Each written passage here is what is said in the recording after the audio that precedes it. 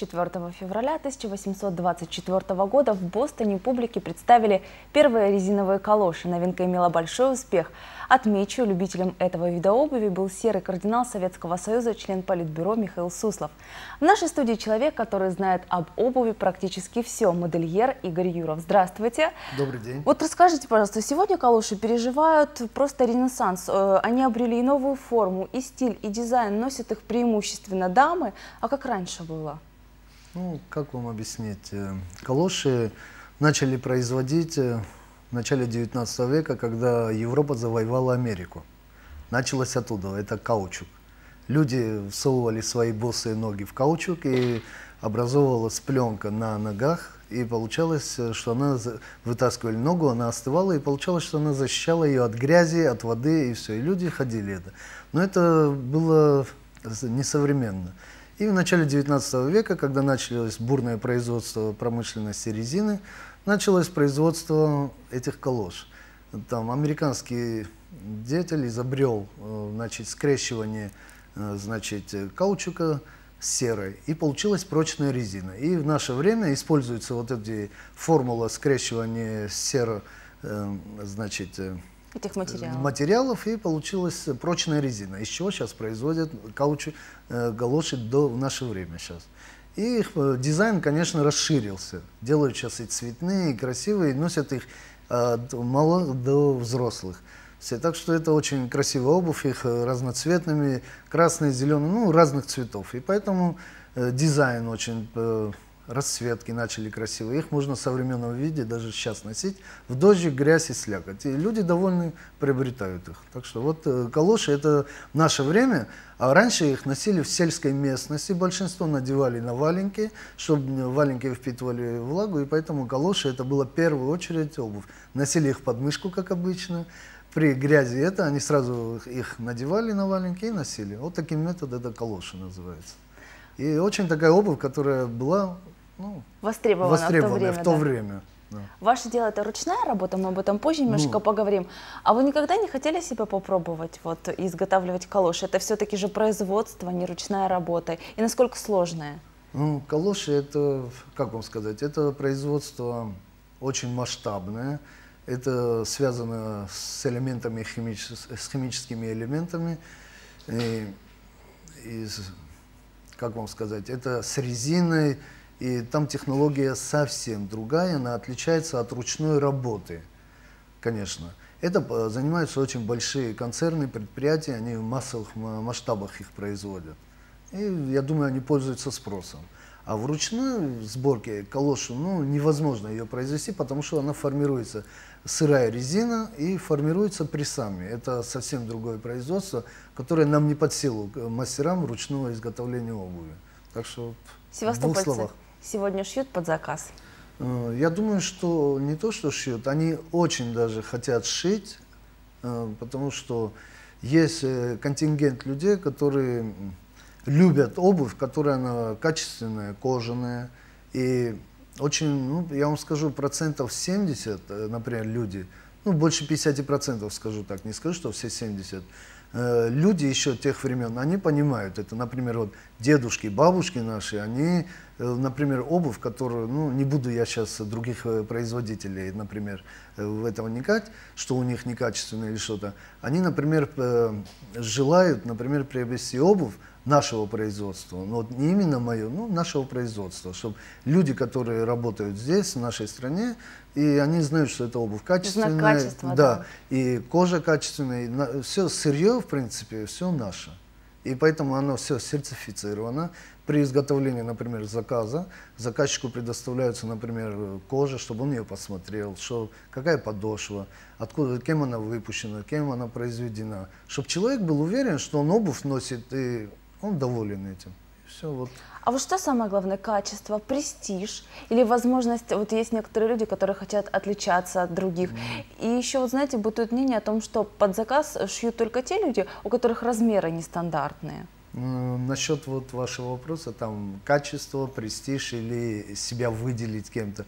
Я, например, э, ориентируюсь на качество. Потому что от того, что у тебя будет качественная обувь, значит, и даже без как вам сказать, один, одному, сделав одному клиенту, например, обувь, и он доволен, он скажет, конечно, другому. Вот такой метод у меня. Э, не то, что там выделяю себя, что можно делать обувь такую такую, а сам ничего не умею сделать, так тоже нельзя. Все надо на деле показывать, и свои качественные, все вот эти качества надо показывать на деле, я так понимаю. И в любом деле, э, в любое производство, оно показывается на деле. Если ты будешь делать плохо, конечно, к тебе люди не будут ходить. И то, что у тебя имидж или что-то будет, оно не будет тебе помогать в дальнейшем, например, процветании. У нас не процветание, я вот борюсь за качество. За любую мелочь стараюсь, чтобы она была бы сделана по всем стандартам, по тем временам, как наши дедушки и бабушки вот раньше делали все вот это качество. Мы стараемся. Я работал, когда начинал работать, я еще успел тех времен делать обувь на шпильках березовых. Сейчас в данный момент это не делают. Раньше клеев не было, ничего не было. И делали, все подошва креплялась на березовых шпильках. Это было, конечно, самая экологически чистая обувь. Кожаная подошва, шпильки, ни одного клея. И все из кожи делалось. И народ носил, ну, тогда в то время носил и 20, и 30 лет носили обувь. Такая обувь была качественная. Сейчас тоже стараемся, сейчас производство, конечно, мы вышли вперед уже, и с каждым годом проявились клея, новые материалы, но все равно от этого качество не должно портиться. Потому что все стараемся по технологии делать, самое главное. Дорого ли шить под заказ и насколько долго? Ой, как вам вот, например, сказать это? Вот если сравнить, например, купить качественную готовую обувь или, например, вот у вас заказать, насколько это будет дорого?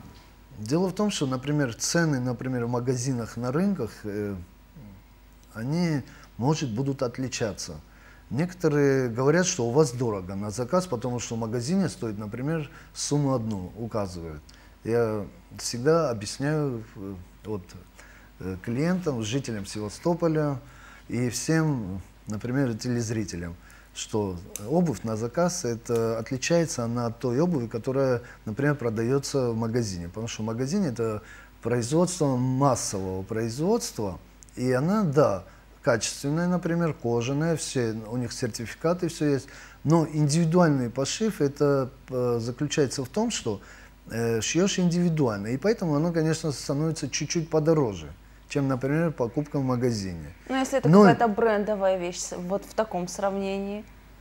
Все равно. Э, мы, Все равно например, дороже. знаем, например, та брендовая обувь. Вот я по обувной сфере вам скажу в двух словах, что вся обувь, которая на наших прилавках, брендовая, которая завозится, например, э, из э, Европы, например, с других стран вне, она также изготавливается, например, итальянцы очень прогрессируют на рынке ручной работы ну, она не, мы не хуже их делаем, наши мастера, наши мастера даже вот в нашей стране не хуже работают, э, просто они себе сделали эти имиджи, они очень много над этим работают. за имя. Да, и за имя платим, за их фамилию, имя, которое они там выставляют на выставках. Мы, конечно, на, у нас нет времени... Сильная у нас школа? Школа, да. В России, да, очень сильная школа, очень много мастеров, и, которые любят, например. Но это усидчивая работа.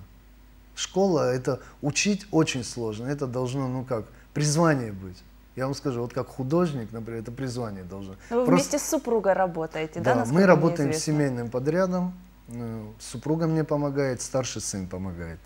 Так что вот мы стараемся как-то все это семейным подрядом все изготавливать и доставлять ну, радость нашим клиентам в конце концов, чтобы они были довольны. Вот, чтобы были довольны. А формы, где заканчивается предел фантазии, материалы, как можно, что можно сделать? Вот мы сейчас видим мужскую обувь, да, да. вы принесли с собой с вашей работы, но вы работаете и, и женскую дамскую обувь? обувь на заказ любую, по заказу клиента, эскиз. Даже любая женщина, э, принеся, принеся свой эскиз, набросок, рисунок, фотографию.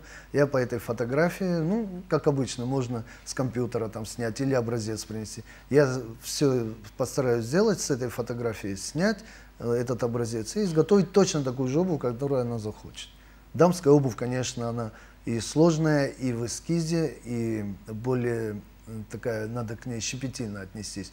Мужская обувь очень сложная, она в обработке подошвы. Это самая сложная обработка подошвы. Ну, покажите подошву на каком Вот я вам, например, образец покажу. Вот обувь, которая э, производится, например, натуральный лак. Лак, конечно, это французский. Э, он э, приобретен под заказ. И белый лак и черный, это натуральный лак. Подошва производится из кожи натуральной. Э, это клиент, который, например, купив эту обувь, он просто уже знает, что эта обувь будет носиться очень долго. Она одевается индивидуально. Под а долго это сколько? Ну, как вам сказать, здесь э, комплектующие, которые меняются, снашиваются, а вся подошва остается целой. Здесь набойка и каблук ну, снашивается, как резиновую машину, например. Она тоже меняется. Также здесь меняется э, каблучная и профилактическая вот эта части. А вся подошва, она держится на клею, под прессом приклеена, под давлением. Так что ее зубами не оторвешь. Это я вам просто ну, не гарантию. А вот да. как отличить фирменную обувь от подделки, когда приходишь в магазин или где-то в другом месте приобретаешь? Потому что очень есть много моделей, которые не являются настоящими, и ты не отличишь подделку.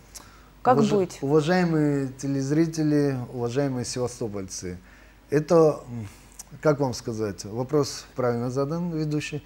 Э, определить настоящую обувь от подделки, ну, это только специалист может.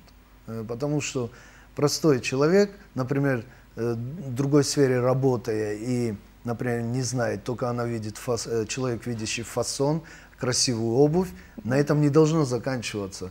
А чтобы определить, ну и факт тот, что еще цена чуть-чуть играет. Чем обувь дешевле, например, чем обувь дешевле, она может чуть-чуть и некачественная быть, я так думаю, по моему мнению чем и не сказать, что тоже дорогая обувь, значит она качественная. Опять же, это может одинаковые быть материалы, одинаковая обувь, просто цены разные и все. А так определить, ну это ну, что надо, делать тогда? Это специалистом надо быть. Раньше, вот я вам расскажу, э, на рынке клиенты на возрасте, они ходили с зажигалками, проверяли кожу извините, что так я говорю, ну, так они, было, да. некоторые боялись, нет, не поджигайте, а некоторые разрешали. Я, например, свои сапоги разрешал поджигать. Берешь зажигалкой, поджигаешь, и все, нормально. Только на расстоянии надо, не близко. Близко можно чуть-чуть испортить кожу. На расстоянии от пламени заменитель, он сразу может расплавиться. Вот а если зажигалки нет под рукой, может нет, быть как-то... пример привел. Да, как со, со сроком, может быть, как-то, чтобы потом можно было вернуть эту обувь. Как Срок. будет? У каждого, я думаю, предприятия или магазина, которые они при, продают свою продукцию, например, обувь, у каждого есть э, в данный момент, это э, Министерством промышленности и всем, э, есть такой закон, и мы вправе требовать, о качестве, да, товар, чтобы нам о качестве товара, и у них есть срок гарантии у каждого магазина. Я думаю, при приобретении обуви каждый клиент, например, берет чек, квитанцию на гарантию.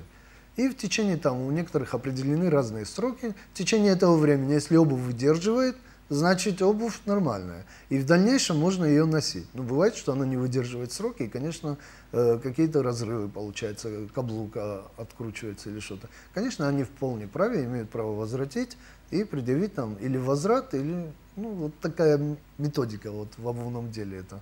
А вы процедура. сами какую обувь носите? Я ношу свою обувь, своего производства. Сами у меня семья, находится все-таки время, да? У меня семья носит э, все нашего производства.